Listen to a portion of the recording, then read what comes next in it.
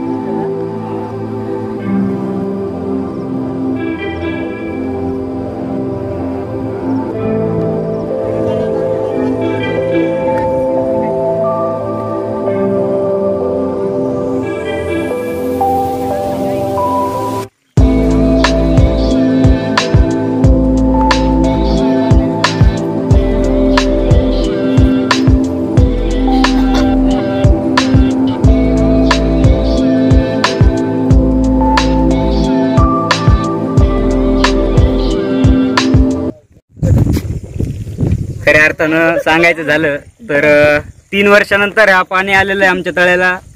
आणि पाण्याची ज्याप्रमाणे एखादं मुलगा शाळेत गेल्यानंतर आई वडील जशी वाट पाहतात ना माघार येताना त्याप्रमाणे वाट आमची गावकरी पाहत होते की कधी तळ भरतंय? कारण तळ भरल्याच्या नंतर ह्या सर्व शेतकऱ्याच्या समस्या सॉल्व्ह होतात.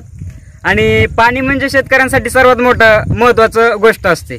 आणि ती पाणी ह्या तळ्यातून भेटतंय आम्हाला. आणि तीन वर्षानंतर ही पाणी पाहायला भेटलंय आम्हाला.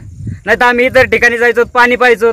काही काही शेतकरी तर इतर ठिकाणचं पाणी बघूनच चक्कर पडायचे की इतकं पाणी बाबा. आणि हे आमच्या तळ्याला इतकं आलंय पाणी त्यामुळे इतकं पर्यटन स्थळ कमी पडते ना. इतके लोक इथं बघायला आली तर. आणि ही पाणी आलंय तर अतिशय आनंद होतोय. दररोज पा सांगायचं झालं तरी दररोज आम्ही दिवसातून दोनदा पाणी बघायला येतोय. जसं काय की पाणी जाईन भाऊ एका दिवसात. असं येऊन पाहत होतो आम्ही पाणी. खूप अतिशय आनंद वाटतोय. आता शेतकऱ्यांचं पुढचं जे प्रमाण पिकं काढत होती कमी पाण्यावर निघणारी.